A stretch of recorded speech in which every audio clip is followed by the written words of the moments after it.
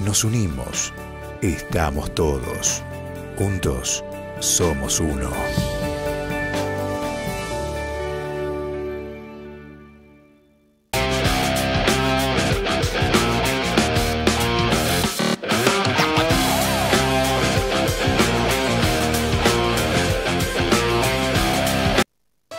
La editorial cumple 30 años y lo festeja con una gran renovación. En esta temporada escolar, renovate vos también con nuevos útiles para el cole. Renová tu mochila con nuevos diseños y colores, nuevas carpetas, canoplas, lápices y marcadores para que estudiar sea más divertido. Actualiza tu compu con la mejor tecnología. Visita nuestras tiendas y renovate. La editorial. Aprende, jugá, crea.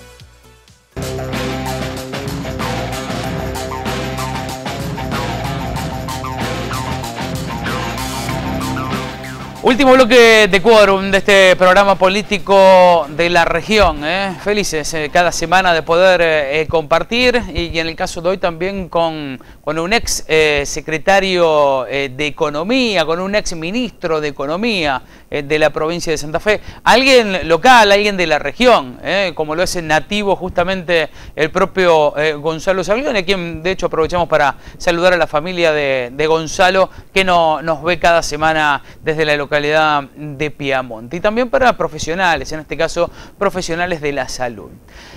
A tan solo un mes, hoy es 12 de abril, el próximo 12 de mayo, en un mes presentación de las precandidaturas. Presentación, allí vamos a conocer quiénes se van a estar presentando en las elecciones del 16 de julio. 16 de julio, recordemos, en la provincia de Santa Fe, elecciones primarias, las paso, las primarias abiertas, simultáneas y obligatorias, que de allí saldrán los candidatos hacia las elecciones generales. Año en el cual en la provincia de Santa Fe justamente se va a estar eligiendo a un nuevo gobernador. ¿Por qué decimos a un nuevo gobernador? Porque el gobernador en nuestra provincia de Santa Fe no puede tener una reelección. Sí puede presentarse eh, nuevamente como candidato, pero tendrá que pasar como mínimo un periodo. Algo que seguramente deberá modificar la constitución nacional, digo la constitución provincial, ¿no? Eh, tiene que haber alguna modificación en esto porque no tiene mucho sentido. Por un lado, que el gobernador no pueda presentarse otra vez y por el otro, ya modificar de lleno lo que respecta a las comunas que tan solo tengan dos años en una gestión, porque prácticamente cuando asumen ya están llamados a elecciones nuevamente. Pero nos fijamos en las elecciones provinciales, en la elección en la categoría a gobernador. Hasta ahora eh, hay muchas fichas que ya están jugadas, pero quedan otras por jugar en las cuales eh, seguramente va a modificar el tablero. ¿En qué decimos esto? Por un lado, ya Maximiliano Puyaro, que tiempo atrás se presentó como precandidato a gobernador. Seguramente que dentro de ese frente de frentes, que dentro de un mes vamos a saber cómo se llama ese frente de frentes, que no llevará el nombre frente de frentes, eh, Clara García seguramente va a ser la candidata del socialismo. Hablamos de la diputada Clara García, la ex mujer del ex gobernador fallecido Miguel Lifchi. Y eh, Dionisio Escarpín también ha dicho, se ha presentado, se ha lanzado como precandidato hacia la gobernación. De todos los lanzamientos hay que ver quién llega luego a ser primero precandidato, porque luego tal vez se terminan eh, los eslabones acomodando. Pero dentro del frente de frentes, eh, desde hace 10 días a esta fecha, hay muchas miradas puestas en Carolina Lozada la senadora provincial, la periodista Rosarina, de muchos años en el Noticiero de América, entre otros programas, en el cual muchos dicen que tal vez sea candidata.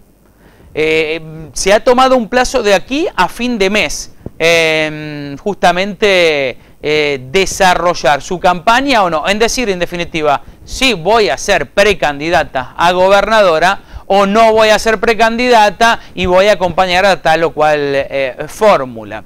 Que eso sí va a mover un poco eh, el tablero seguramente, ¿no? porque puede llegar a haber mucho voto radical eh, que se vaya para otro lado y no para el lado de Puyaro. Luego, después, a la hora de contar los votos el 16 de julio en las primarias, veremos qué es lo que puede llegar a ocurrir. Pero en mientras tanto, eso es lo que puede llegar a llevarse a cabo en el frente de frentes. En la vereda um, del oficialismo provincial, el PJ, llámesele, Marcos Ecleri, que ya, que ya ha dicho que va a ser candidato, precandidato a gobernador. Por otro lado, Kiko Busato, el diputado provincial, que también se ha lanzado a dicha precandidatura. Y por el lado del perotismo, por llamarlo de alguna manera, todo indicaría que el próximo día, viernes, o muchos eh, anuncian que el próximo día, eh, viernes, en la presentación eh, de su libro, de un libro que va a estar presentándose el próximo viernes en la capital provincial. Estaba viendo aquí si tenía justamente la, la dirección explícita. No, no tengo la dirección. Pero incluso fue invitado, ¿saben quién?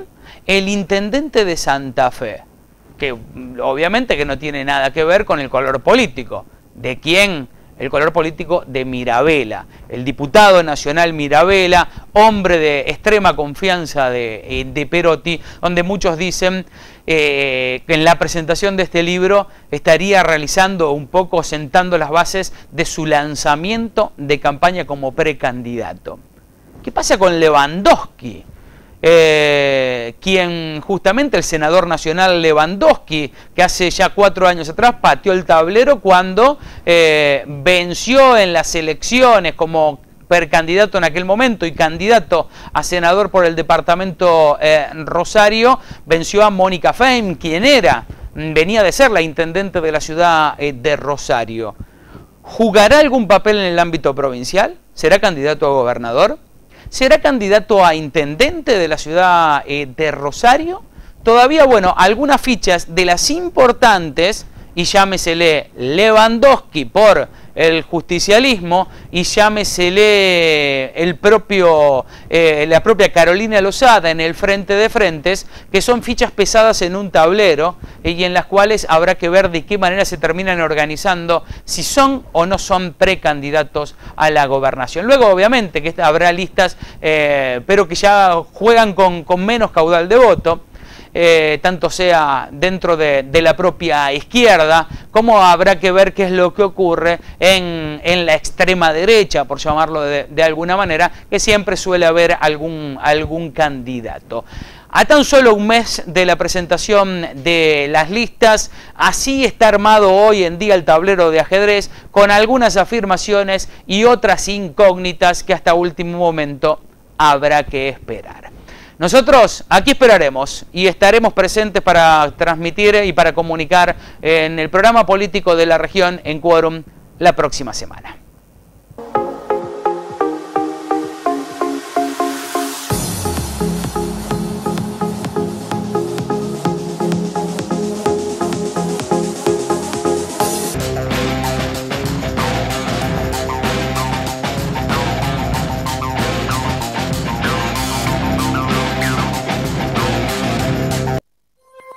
Estés donde estés, Canal 1 va con vos.